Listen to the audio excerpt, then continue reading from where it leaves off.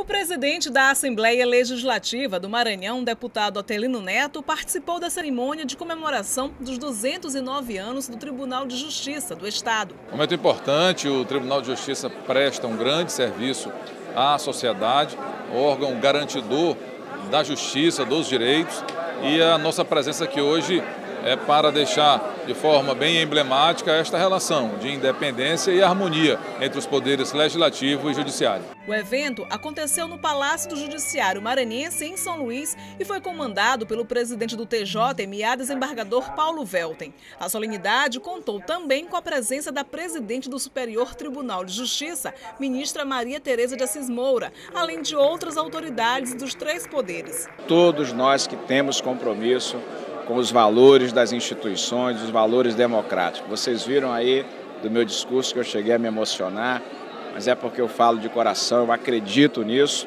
Temos que continuar trabalhando, trabalhando para fazer honrar o judiciário do estado do Maranhão e colocá-lo aí sem dúvida nenhuma no novo patamar, à altura dos desafios do século XXI.